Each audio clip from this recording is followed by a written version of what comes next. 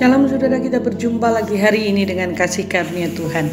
Nah saudara hari ini benar-benar saya diingatkan oleh Tuhan dalam 1 Korintus pasal 4 ayat 12 sampai 14. Kami melakukan pekerjaan tangan yang berat.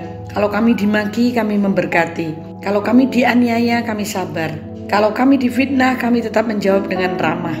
Kami telah menjadi sama dengan sampah dunia, sama dengan kotoran dari segala sesuatu, sampai pada saat ini. Hal ini kutuliskan bukan untuk mempermalukan kamu, tetapi untuk menegur kamu sebagai anak-anakku yang kukasihi. Saudara yang dikasihi Tuhan, Alkitab memberikan teladan kepada kita memberikan contoh supaya kita itu hidup dalam damai sejahtera, supaya kita hidup dalam kebebasan.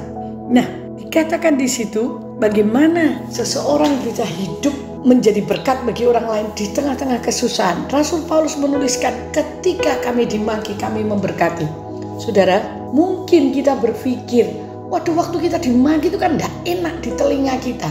tidak enak di pikiran dirasa kita tapi dengar baik-baik Alkitab berkata bahwa kita harus membalas kejahatan dengan kebaikan nah dituliskan dalam satu Korintus ini ketika kita dianiaya kita bersabar ketika kita difitnah kita menjawab dengan ramah kalau sampai dunia mendapati orang-orang seperti ini pasti dunia akan bertanya kok bisa Padahal dimaki, dicaci, difitnah ketika kita dilukai. Mari kita belajar melepaskan pengampunan karena Tuhan berkata, kita harus mengampuni orang yang bersalah kepada kita.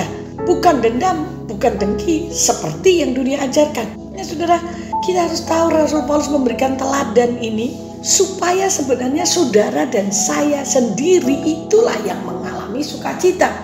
Karena orang yang mengampuni itu bukan berguna bagi orang yang diampuni saja, tetapi terutama berguna bagi diri sendiri. Ketika kita dimaki, terus kita bisa memberkati, itu membangun manusia batinia kita dan jiwa kita disegarkan. Ketika kita dianiaya, kita bersabar, saudaraku, itu membuat jiwa kita itu semakin kuat.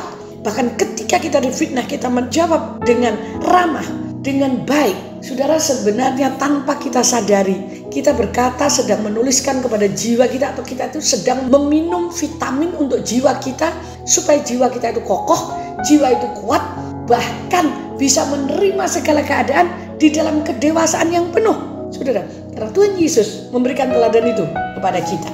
Saudara, ketika Tuhan Yesus difitnah, ketika Tuhan Yesus caci maki, dia tidak membalas dengan kejahatan, tapi dia memberkati mereka bahkan berbicara dengan ramah, bahkan Tuhan melepaskan pengampunan. Nah, saudara, ketika saudara dan saya dilukai, ketika kita diperlakukan tidak baik, itu adalah sebenarnya membentuk karakter kita untuk menjadi seperti Yesus. Jiwa kita tidak bisa dewasa dan menjadi seperti Yesus kecuali dengan hal-hal tersebut yang dituliskan oleh Rasul Paulus.